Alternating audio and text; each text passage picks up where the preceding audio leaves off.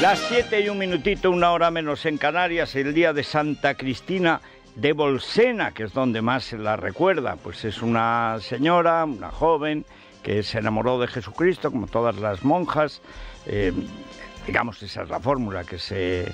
Pero la familia estaba en contra, el padre le hizo toda clase de perrerías, la otra se negó a, a jurar de su fe y al final, con dos flechas venidas de no sé dónde, pues mataron a Santa Cristina que ascendió a los cielos. Bien, felicidades a las Cristinas, hay varias, ¿eh? que celebren hoy su onomástica. Hoy es un día, pues como estos días atrás, eh, algún chubasco en el norte, como es normal en verano, y en Madrid 33 grados de máxima, la máxima nacional en Valencia 41 grados y la mínima de nuevo volvemos a los 12 grados en Burgos, en Burgos, en León y en la gélida Lugo. Bueno, vamos con Rosana Laviada y Daniel Muñoz a contarles el chasco de ayer, porque lo de ayer fue un chasco morrocotudo, y al mismo tiempo el plantear la realidad de lo que pasa en España. España se ha argentinizado hasta tal punto que estamos en una situación peronista. Es decir, el peronismo nos hace cada vez más pobres y estamos cada vez peor, pero seguimos votando peronista. Esta es la realidad. Eh, pero ¿qué es lo que, si se fija uno bien, qué es lo que ha pasado? Luego lo debatiremos, eh, Girauta y Carlos Cuesta. Girauta está hoy muy... Ya, le echa la culpa a Feijó. Bueno, yo creo que su partido favorito, Vox, ha perdido 630.000 votos. Y le echó la culpa a las encuestas, que a quien han equivocado es al PP. O sea, ayer Abascal no tenía... Él nunca tiene la culpa de nada. O sea, en los feudos donde estaba Vox, ha perdido Vox. Donde más tenía, más ha perdido. Algo habrá hecho mal Vox, ¿no? Por ejemplo, no dejar que vengan aquí ninguno de sus candidatos, porque al líder se puso Machirulo y se puso Chulín y entonces se fue con el país y con Radio Nacional. Resultado, desconexión total con sus bases. Pero nada, eh, sigue con la idea de que hay una conspiración, eh, ahora son las encuestas. Las encuestas a quien han perjudicado, aparte de dejar en ridículo a los medios, todos, pero a todos, hasta a tezanos. Eh, es que es evidente que le ha salido bien la jugada a Sánchez y que la gente, hay gente en la izquierda, donde el trabajo de tantos años de manipulación, de mayoría abrumadora en los medios, pues sigue funcionando. ¿Dónde funciona especialmente? Las elecciones la ha ganado la Cataluña separatista. Separatista incluyo al PSC, que ha ganado las elecciones y no le sirven para nada.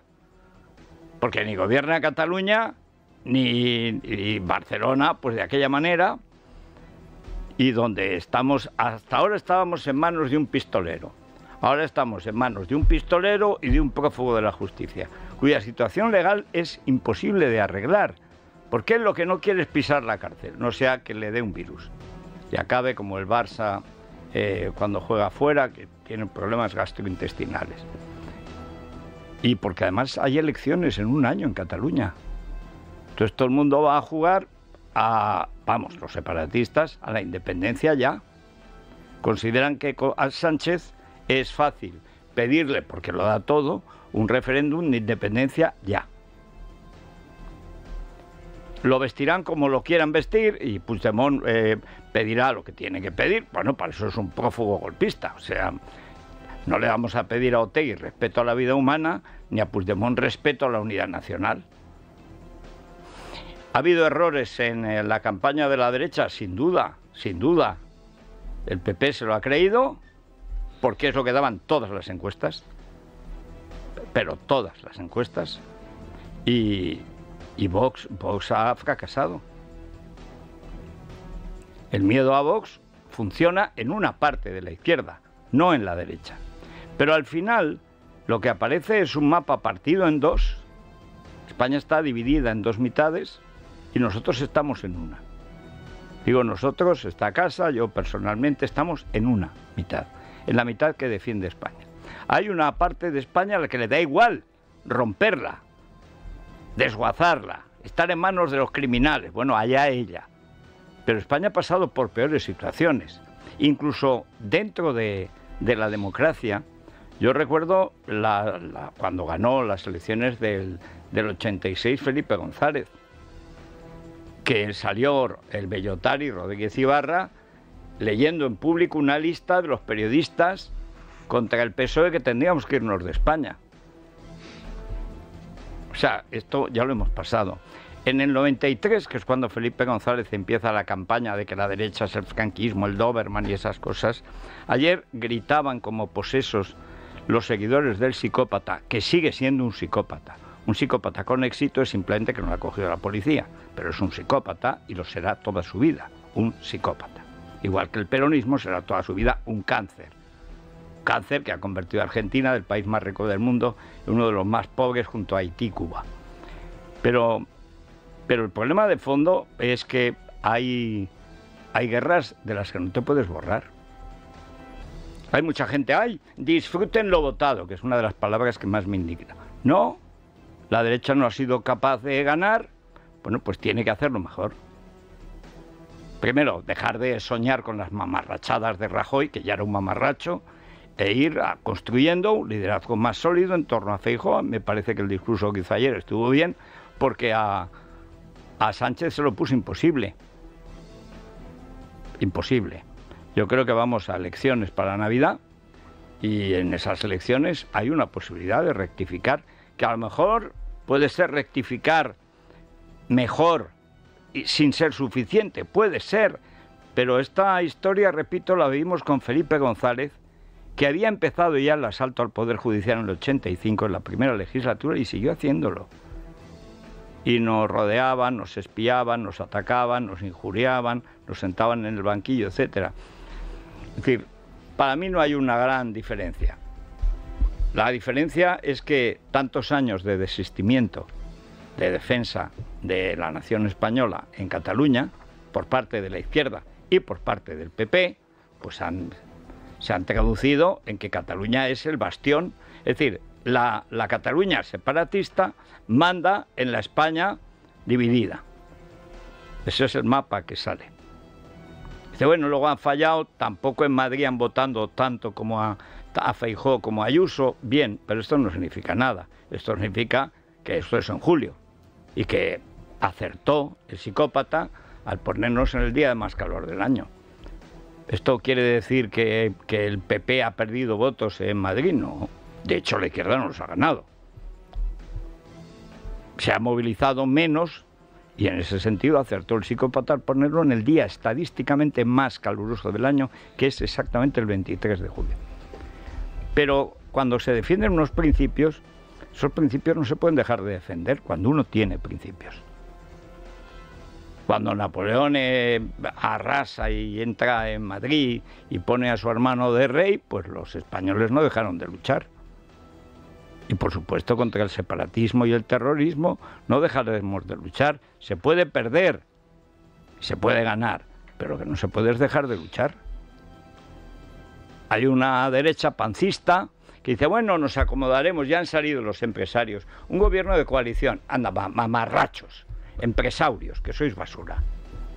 Toda la, toda la, eh, toda la publicidad eh, de la Agenda 2030 que es el comunismo disfrazado de sandía, de verde, toda la hace el IBEX 35. La pueden escuchar aquí todos los días como en todos los medios. ¿De qué vais? Vais de cobrar el bonus y lagaros a, a la Costa Azul, que luego no cabe aquello de millonarios y es incomodísimo. Pero el problema de España es que de ayer lo que sale es una situación, bueno, de bloqueo total. ¿Estamos entonces peor? No tan peor no tan peor, porque afortunadamente hace dos meses, en circunstancias normales, la izquierda perdió prácticamente todo su poder territorial. Entonces las, las autonomías son del PP y en alguna de Vox. Vamos a ver si a Bascal no le da por echarse al monte y fundar con Julio la congregación de hermanos resistentes de San José María Escriba de Balaguer o, de, o el yunque de Nuestra Señora. A saber, porque lo de ayer fue un discurso absolutamente disparatado, cobardón, sin asumir ninguna responsabilidad, él nunca se equivoca, él siempre es infalible, pero ha perdido 630.000 votos. El PP no ha perdido 630.000 votos. PP ha ganado, no lo suficiente. Y la gente no ha dicho la verdad en las encuestas, o la ha dicho, pero el verano ha hecho imposible que eso se plasme. No lo sé. No lo sé porque es muy difícil saberlo. Y habrá que ir escudriñando por zonas. Pero el panorama general es ese. Va, todo va a depender de, que Puigdemont considere que le conviene a su proyecto de la Cataluña separada y, hostil a España, que le conviene abstenerse para que salga Sánchez porque no tengan duda de que el pistolero y por supuesto el PNV, su papá socio y ayer ya casi desheredado, por supuesto que lo van a apoyar. Para todos los enemigos de España, Sánchez es un chollo. Conviene que los que somos amigos de la nación, y lo vamos a seguir siendo, digan lo que digan las urnas, y no vamos a cambiar. Y no nos van a cambiar. Nos podrán cerrar, pero callar no nos van a callar vamos a seguir diciendo que Sánchez es un psicópata, que ha conducido a España a una situación ingobernable, que a él puede que le dé igual, pero que al final lo probable, lo más probable, es que nos dé la posibilidad en Navidad de volver a votar y votar mejor. La democracia es un mecanismo indoloro para cambiar de gobierno, sin recurrir a la guerra civil. Bien es verdad que la izquierda vive en plena guerra civil y la derecha blandita tampoco gana. Ayer el grito era no pasarán. ¿Quiénes no pasarán, so payasos? Si lleváis cinco años en el poder. ¿Quiénes no pasarán? Bueno, viven en su mundo. ¿Por qué? Porque tienen todos los medios en su mano. Se los dio el PP. Tienen todas las televisiones. De todas, todas, absolutamente. Ya se vio en la encerrona Feijó. Ni Vallés. Todas. ¿Y esto qué es? Esto es el fruto de la política blandurria de Mariano, de Soraya y de Montoro. ¿Es otro el PP? Pues claro que es otro. Y además tiene que ser otro, para despabilarse. Ahora, los que soñaban con un rajoyismo del poder nos vendrá a la mano por los errores y tal, se equivocan. Ni lo merecían ni además lo han obtenido. Luego, hay también sí por una reflexión. Entonces, ¿qué pasa? ¿Puede ser presidente Sánchez y jorobarnos cuatro años más? Puede. ¿Es, es verosímil? No. Sinceramente yo creo que no. Puede pasar. Puede pasar que se presenten Sánchez con Begoña, Puigdemont eh, y su señora, la rumana, y, Pumpido y su señora, la militara, y se planten en, en, en Bayona o bueno, como, como ya pasó otra vez, como cuando fueron los encuentros, ¿os acordáis? De que era vicepresidente de, la Generalidad de Cataluña, que se encontraron con la ETA y, pactaron que no matara en Cataluña. ¿Pueden pactar un referéndum para destruir España? Pero claro que pueden. ¿Y esto nos va a hacer rendirnos? Nunca. Nunca. Porque lo que alumbra es una sociedad basurienta y a la basura. La basura lo que hace falta es barrerla dentro y fuera. Pedro Sánchez estaría en condiciones de convertirse en el primer presidente del gobierno que llega a la Moncloa habiendo perdido las elecciones. Resultado inesperado, endemoniado tras el 23J que convierte a Feijón ganador de los comicios con 136 escaños y un 33% de los votos y al golpista Puigdemont como el poseedor de la gobernabilidad de España. De Junts depende Pedro Sánchez con 122 escaños, dos más que en las elecciones del 19, pueda reeditar el gobierno Frankenstein alcanzando los 172 diputados. Los independentistas reclaman la amnistía y un referéndum de independencia y a pesar de que su portavoz Miriam Nogueras dejó anoche claro que no hay nada que pactar con Sánchez, la experiencia Frankenstein esboza un gobierno donde el candidato socialista pueda alcanzar el Ejecutivo en segunda vuelta cediendo ante el golpista. Nuestra prioridad es eh, Cataluña, no es la gobernabilidad del Estado español. No nos vamos a mover ni un milímetro porque nosotros sí tenemos memoria. Pedro Sánchez, tiene muchos deberes pendientes con Cataluña y no les debemos nada, no les debemos nada. De hecho, ahora mismo desde aquí le mando un abrazo gigante a Xavier Trías porque Pedro Sánchez echó a Xavier Trías pactando con la derecha. No me temblará en absoluto el pulso al seguir manteniendo la posición. Nosotros no haremos presidente a Pedro Sánchez a cambio de nada. ¿Qué significa nada? Eh, antiguamente en catalán se decía res. A cambio de res. Ahora dice a cambio de nada. Nada, porque tenía que ser la nada de España la que diera el res, que es también nada y la cosa también. El referéndum con garantía de respetarlo. El Parlamento español no puede aceptar un referéndum para destruir España porque es el fin del régimen constitucional. Es un referéndum ilegal, clamorosamente ilegal, es un golpe de Estado. Quedaría Sánchez en este caso, que estaba a la cabeza simbólicamente, ahora tendría que estar realmente a la cabeza y presentarlo en el Parlamento. Y que lo aceptara el Parlamento, que no lo aceptará. Vamos a ver que Sánchez ha subido dos escaños, tampoco crean ustedes que es que y, Podemos tampoco ha, prosperado. Me parece que tiene saca más o menos lo mismo, ¿no? 31. 31 tenía 35, cuatro menos. O sea, ha subido dos Sánchez y ha bajado cuatro Podemos. Es decir, que tampoco es que haya sido. Otra cosa es que la necesidad evidente que tenía y tiene España de evitar un fin de año horroroso en la economía, pues lo vamos a sentir lo va a pagar el ciudadano común, la clase media, el autónomo, lo va a pagar. Lo va a pagar ¿por qué? Porque tenemos una izquierda con una serie de medios de comunicación que oscilan entre la psicopatología y la dictadura comunista, que es en lo que están, que han conseguido hacer una trinchera de odio, que la gente le tiene más miedo a las víctimas de la ETA como Ortega Lara que a los asesinos, que a los pistoleros como Tegui. Esa es la realidad. La izquierda española prefiere a la ETA antes que a Vox.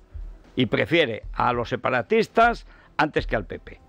¿Por qué? ¿Por qué? Porque es una basura. Es una basura. Y, esto no facilita a ningún gobierno.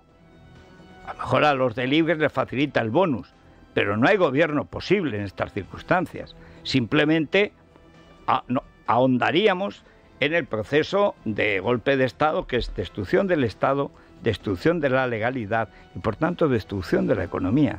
Pues sin legalidad no hay economía posible. Vamos a ver, eh, ayer eh, salió Núñez Feijó, estaba muy tranquilo, hay que decirlo, llevaba el discurso escrito, que es como hay que llevar estas cosas, no improvisar al estilo de Abascal, pero bueno, los dos tenían motivos para llorar. Lo que pasa es que él tiene una baza ahora, ha ganado las elecciones los ha, las ha ganado en votos y en escaños, con clara diferencia. Y por tanto el rey le tiene que encargar a él primero la, la formación de gobierno. Al final, al final, han estado a siete escaños de ganar de la mayoría absoluta, que tampoco es nada imposible de conseguir en otras elecciones. Y eso es lo único que la soberbia de Sánchez a lo mejor no le permite contemplar. Pero bueno, ayer Feijóo dice que va a seguir diciendo lo mismo con el resultado previsible. Alberto Núñez Feijóo va a aceptar el encargo del rey de formar gobierno, pero sus 136 diputados, junto a los 33 de Vox, suman unos escasos 169 escaños que, unidos al diputado de UPN y, en el mejor de los casos, al de Coalición Canaria, sumaría un insuficiente grupo de 171 diputados. El líder popular reúne a partir de las 5 de la tarde a la Junta Directiva Nacional, donde se van a analizar los resultados y donde Feijóo volverá a pedir al PSOE que no bloquee el gobierno de España. Santiago Abascal pierde 19 escaños y cerca de un 3% de votos. Con talante serio y preocupado, el líder de Vox cargaba en su discurso contra las casas de encuestas y los medios calentaron el voto útil contra Vox. Tanto Yolanda Díaz como Pedro Sánchez han expresado públicamente su deseo de pactar un gobierno. Díaz suma 31 diputados al frente de Sumar, cuatro menos que Unidas Podemos en 2019. Vamos a escuchar a Núñez Feijó, Sánchez, Santiago Bascal y Yolanda Díaz. Los españoles, las españolas han hablado y conviene escucharles. Yo lo he hecho toda mi vida y lo volveré a hacer ahora han querido que el PP obtenga la victoria en las elecciones y, por tanto, como candidato con más apoyo en las elecciones generales. Con toda humildad, me hago cargo de iniciar el diálogo para formar gobierno de acuerdo con la voluntad mayoritaria de los españoles expresada en las urnas este mismo domingo. España y todos sus ciudadanos que han votado han sido meridiana y rotundamente claros. El bloque involucionista de retroceso que planteaba una derogación total de todos los avances que hemos logrado durante estos últimos cuatro años ha fracasado. Ha fracasado. Hemos estado toda la campaña alertando del peligro de unas encuestas claramente manipuladas que han llevado a algunos a vender la piel del oso antes de cazarlo y que han tenido una clara consecuencia, la desmovilización. Además hemos visto a los medios afines al Partido Popular apelando de una manera que no podía ser más burda al voto útil y perjudicando la suma de la alternativa. Y hoy creo que la gente va a dormir más tranquila. Desde mañana mismo me pongo a dialogar con todas las fuerzas y formaciones progresistas y demócratas de nuestro país para, sí, garantizar el gobierno en España. Desde mañana mismo me pongo a ello. Bueno, dice la planchadora que lo demócrata en España es el golpe de Estado y el terrorismo. Pero esta es la izquierda que hay. ¿Y en qué ha perjudicado? Lo, de Abascal ayer es de Aurora Boreal. Lo de Feijóo es hacer de tripas corazón. Y sobraban los coros y danzas de la sección femenina. O sea, pero que bailoteabais, son payasos. La única que no bailaba era Ayuso, que al parecer es la única que conserva un poco de cerebro en ese partido. ¡Eh! ¡Oa, oa, oa! Feijóo a la Moncloa, pero ¿sois imbéciles o qué? Son imbéciles. No, no, son imbéciles. O sea, la militancia en un partido te, te ciega, te entontece y repites la, ya sobraba el balconcito, sobraba la plebe, todo eso sobra. Y viene sobrando hace años. Hace años. Eso es una mamarrachada. Eso es echarle carne a las fieras que previamente cobran por la carne que les echas. Eso es una bobada.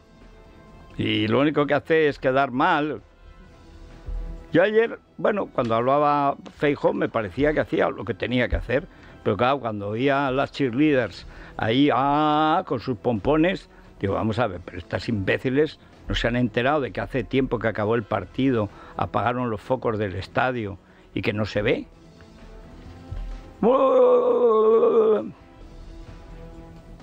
No, esto continúa y tiene que continuar.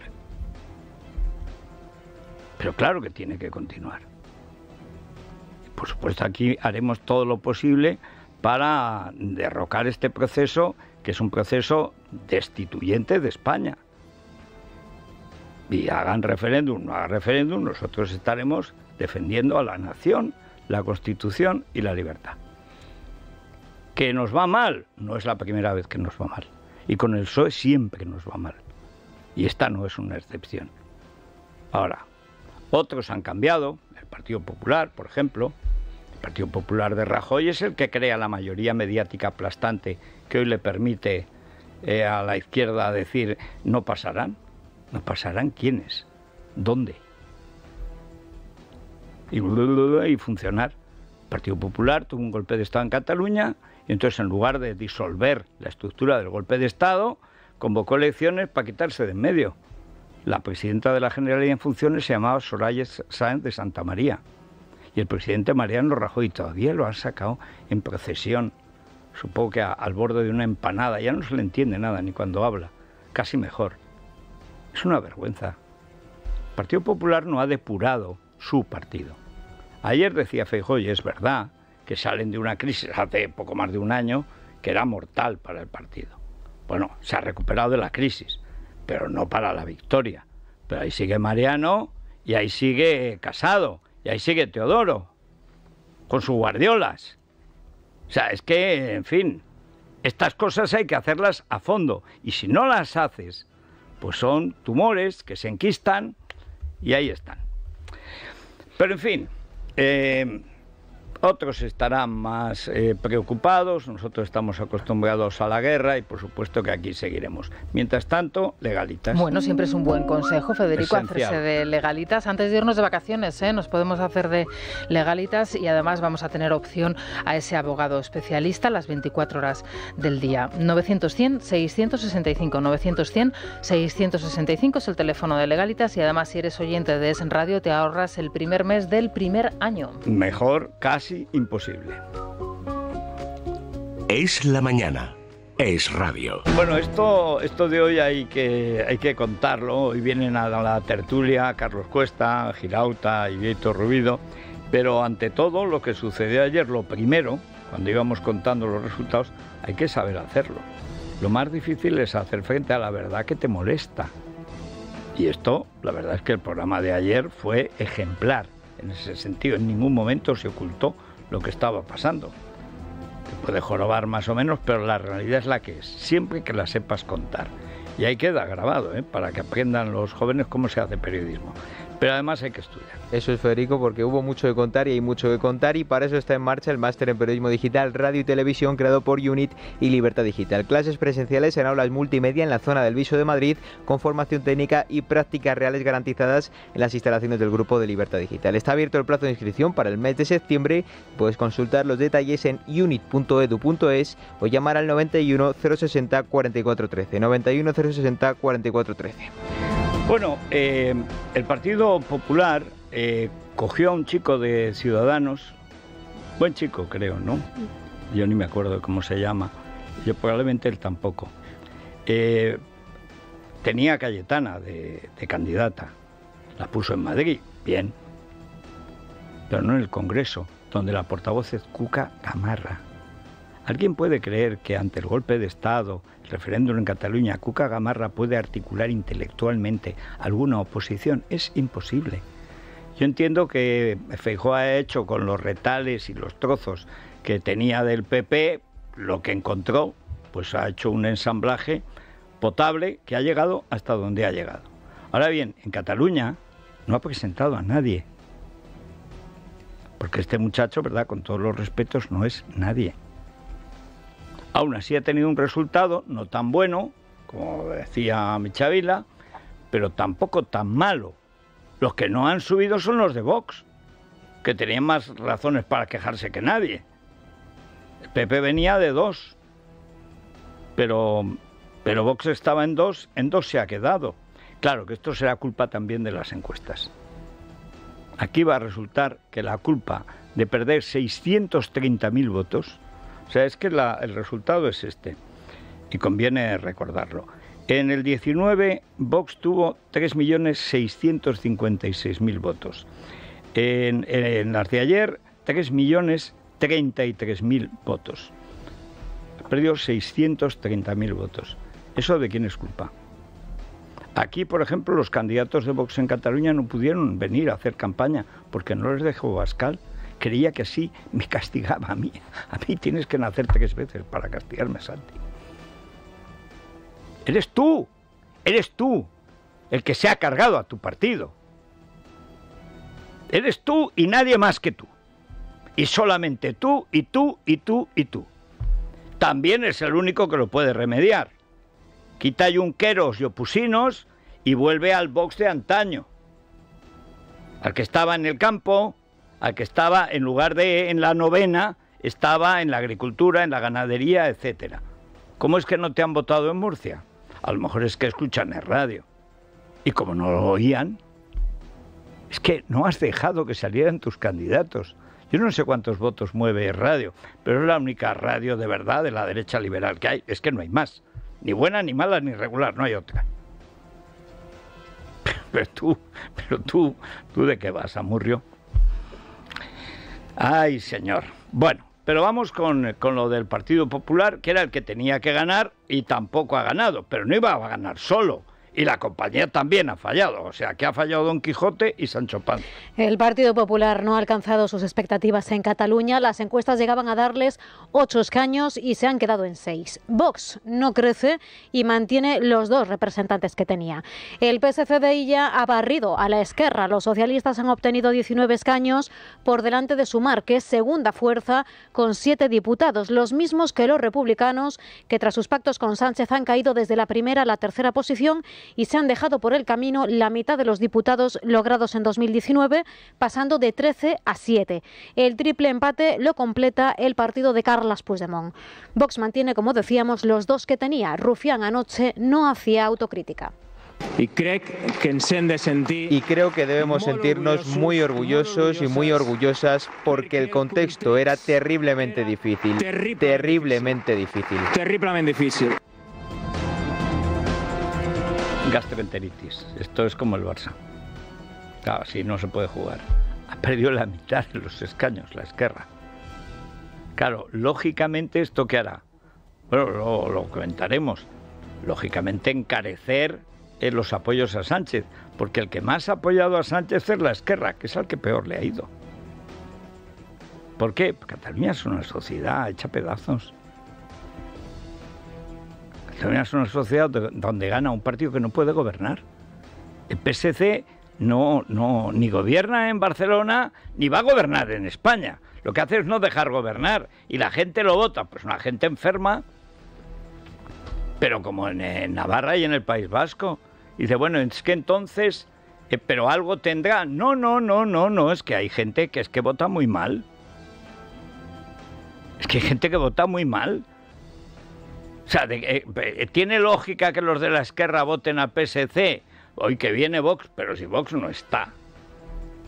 Además, por minorías raciales deberían respetar a Garriga, el negro de Vox, que es de lo más potable que hay. Y los tienen arrinconados en el Parlamento. ¿Cuántos medios tiene la derecha en Cataluña? Ninguno. Repito, ¿cuántos medios tiene la derecha nacional en Cataluña? Ninguno. Hombre, ¿alguno tendrá? No, ninguno. ¿Y en el País Vasco? Ninguno. ¿Y en Navarra? Ninguno. Bueno, el diario de Navarra, más o menos, pero UPN ha quedado en una situación rara. Es decir, inútil. Por cierto, Teruel Alpiste se ha quedado sin alpiste. Bueno, vamos ahora con esta situación del otro, la otra, antiguamente le llamaban a Turquía el hombre enfermo de Europa. Bueno, aquí en España tenemos dos señoras muy enfermas, ¿eh? Vasconia, como llamaban antes, y Cataluña. El Partido Socialista del País Vasco ha sido el partido más votado en la región, empatando a cinco escaños con Bildu y PNV. Sin embargo, los proterras han logrado seis representantes en el Congreso, uno de ellos por Navarra, y en el País Vasco los de Otegui siguen creciendo y quedándose apenas mil votos de los nacionalistas. El PP no ha alcanzado allí los objetivos marcados y ha obtenido únicamente dos escaños, uno en, uno, uno en Vizcaya y otro en Álava, solo uno más que las pasadas generales. Antonio Ortúzar. Hemos conseguido nuestro principal objetivo, consolidar el grupo parlamentario vasco en Madrid, al alcanzar los cinco escaños. Ponemos en valor este logro en medio de una confrontación política como la que hemos vivido y una polarización tan grande que claramente nos ha perjudicado durante toda la campaña. Pero vamos a ver que un polo era Otegui, que es vuestro hijo. La ETA nace de una escisión llamada AEGI, las juventudes del PNV, nace en una sacristía hija del PNV. Eran unos de una macho y de un cura. Es así. Y sigue siendo así. Pero, pero es igual. Son separatistas, racistas, nacieron así. Y prefieren hundirse antes que romper su pacto contra España. Solamente un necio como Mariano Rajoy, el tío más nefasto que ha tenido la derecha, al frente y lo ha tenido 15 años, pudo decir aquello, yo me fío de Aitor. Una semana después de votar los presupuestos le votaron una moción de censura, por cierto, ilegal, etc. Bastante les importa a estos. Bueno, el Senado ha sido otra cosa. En el Senado sí que el PP tiene una mayoría absoluta. Sí, el PP ha logrado la mayoría absoluta en la Cámara Alta. Los de Feijón han obtenido en el Senado 120 escaños, que sumados a los 23 que le corresponden por designación autonómica, alcanza la cifra de 143 senadores, 10 por encima de esa mayoría. Sánchez pierde el control de la Cámara e Izquierdas por la Independencia, la coalición formada por las Esquerra y Bildu, es la tercera fuerza. También logran representación el PNV y Junts, así como los navarros de UPN y tres partidos minoritarios Bueno, eh, había, se habló mucho de las circunstancias. La, verdad es que cuando bien lo miras, se han quedado, incluso si contamos UPN, vamos a suponer que está en el bando nacional, a seis escaños. Hemos hecho a cinco. Sale 171 con Coalición Canaria. Se han quedado cinco escaños ¿eh? de la mayoría absoluta. Tampoco es que sea una cosa tremenda. Pero, por ejemplo, recuerdo cuando aquí Ignacia de Pano contó cómo Gerona y Lérida eran dos escaños seguros para la derecha si Vox y PP pactaban y solo se presentaba una lista. ¿Cómo vamos a presentarnos con el PP, que es el PSOE azul? ¿Cómo vamos a ir con Vox, que es el atraso y tal resultado? Ni en Gerona ni en Lérida. Esto es así. Esto es así. Y la derecha tiene que asumir que tiene difícil ampliar su base social porque tenemos una sociedad podrida que prefiere vivir de paguitas, aunque viva fatal, a lo argentino y ir tirando. Y vayan días y vengan ollas y me han dado para un videojuego y bueno, no estudiamos, pero es igual, como nos dan el aprobado y ya veremos. Esto es así, es una sociedad envilecida, estupidizada, pero que está contenta, hace buen tiempo, y otra de gambas. Bueno, media, ya no podemos pagar toda la de gambas. Así empezó Argentina, hace 70 años. Pero bueno, eh, ¿qué es lo que ha pasado en las famosas eh, provincias de cuatro escaños. Los resultados en las circunscripciones que repartían cuatro escaños han sido clave, como se preveía antes de los comicios. En Lugo, Orense y Salamanca, el PP ha logrado tres diputados frente a uno del PSOE. En Lerida, sin embargo, los populares no han obtenido representación y los socialistas la han aumentado en un diputado. Mientras en Cáceres, León, Burgos, La Rioja o Albacete, ambos han empatado a dos. Bueno, y dirán ustedes, ¿y entonces ahora qué van a hacer las encuestas? Yo, ahora que he adoptado a mi Chavila, no voy a renegar. Yo creo que todo lo que tenemos hay que sumarlo. Incluso yo estoy dispuesto a mandarle la enciclopedia Álvarez a Cuca Gamarra para que empiece el aprendizaje del español, con tal de que la quiten de portavoz del, del Congreso. Feijóo tiene que rearmar un partido, no solo una plataforma electoral, que también, por lo más probable, creo yo, hay que los más pesimistas dicen, no, formará gobierno con Puigdemont, que durará un año hasta el referéndum. Porque el Parlamento no lo va a aceptar, la monarquía queda liquidada, la Constitución queda derogada y los imbéciles de turno, con el país a la cabeza y la SER, sociedad tan quebrada como Cataluña y que se mantiene en pie porque los políticos quieren. O sea, el Barcelona debería estar en segunda, y la SER debería haber sido vendida hace años. Nosotros compramos una cadena, por cierto. Nosotros no debemos dinero. Y ellos tienen siete, ocho cadenas nacionales. ¿Para qué las quieren? Para verter odio todas las mañanas. Para verter odio. Cada mañana diciendo que es que hay media España la que hay que liquidar. El espíritu de la checa.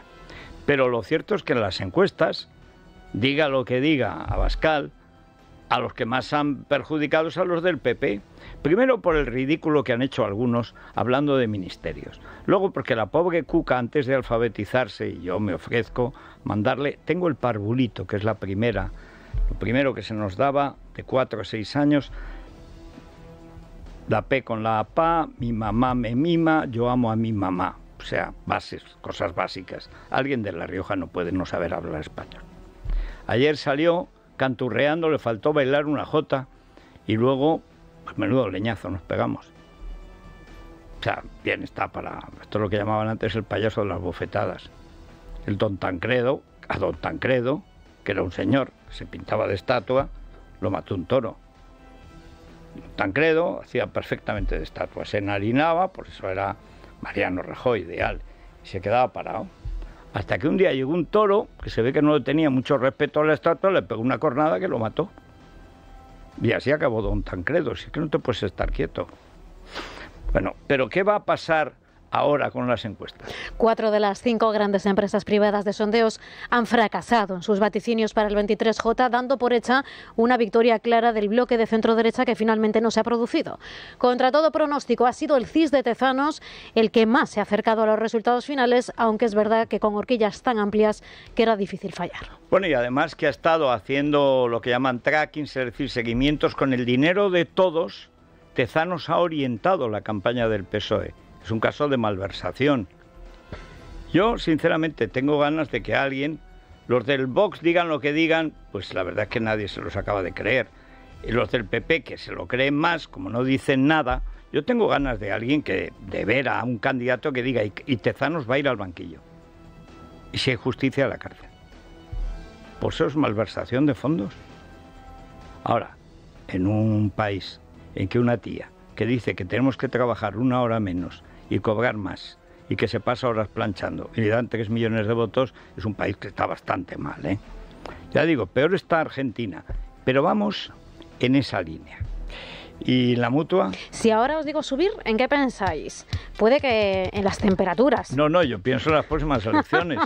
solo podemos subir. Bueno, esa es una opción, pero podemos pensar también... ¿Qué crees? ¿Que alguien eh, nacido allí en el Tremedal va a bajar la guardia? No, hombre, no. Esto solo puede ir a mejor. Bueno, habrá quien piense también, Federico, en las facturas, en la electricidad, el pan, las verduras, los refrescos. menudo, menudo trimestre nos Lo que nos espera. Están vaticinando ya unas importantes eh, subidas de todo para la vuelta del verano pero que no lo hagan con tu seguro. Que no lo hagan con tu seguro. Atentos, si tu aseguradora te dice de repente que tienes que pagar más, dile que tú por ahí no pasas y vete a la mutua, porque te bajan el precio de cualquiera de tus seguros, sea cual sea. Es fácil, llama al 91 555 55 55 91 555 55 55. ¿Te lo digo o te lo cuento? Vete a la mutua.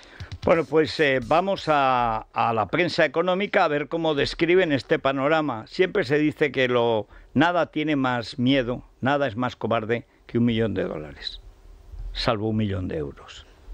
El panorama que sale de España es como para invertir en Portugal, naturalmente.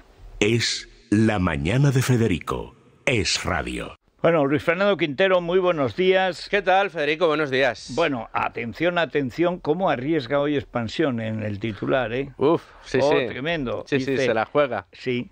Riesgo de bloqueo político. Sí, sí, riesgo, de bloqueo, sí. Pues... O sea, a lo mejor también de desbloqueo, o sea, ¿qué entenderá por desbloqueo? O, eh, por riesgo, no lo sé. Eh, bueno, pues sí, expansión, el, el resumen que hace de la jornada vivida ayer es ese riesgo de bloqueo político, resume que Feijó gana, pero Sánchez resiste y podría reeditar un Frankenstein con Puigdemont. Digamos que uno de los periódicos que más eh, se moja, bueno, o, no, es cinco días, dice el Partido Popular, gana con poca ventaja y España se asoma al bloqueo, pero eso sí, dice el PSOE, frena a la derecha con un resultado mejor que en 2019. Nadie da por hecho lo que vaya a suceder, ni siquiera el economista, que es quien ve más claro un gobierno Sánchez abocado a un gobierno precario ante la débil economía. Esta es la gran cuestión. Esto, esto pasa factura. Y la factura la vamos a ver en los próximos meses. No, de hecho la factura ya la estamos pagando. Estamos eh, a julio. Eh, si las elecciones, eh, si la soberbia de Sánchez le permite creer, y yo creo que se lo permite, que en las próximas elecciones puede mejorar su resultado y por fin ganar las elecciones porque las ha perdido, si tiene ese purito, bueno, pues pues eh, hay una, pero hasta diciembre, o sea, los meses que nos esperan van a ser terribles. Sí, van a ser terribles. Están los inversores esperando a ver qué sucede pues en la apertura de los mercados. no va a suceder de momento nada. No, no. Eh, y ese bloqueo, a ver cómo pasa factura en los, en los mercados, que será quizá la reacción más inmediata en el mundo económico. Muy bien, pues lo seguiremos contando. Vamos a las noticias de cercanías y seguimos.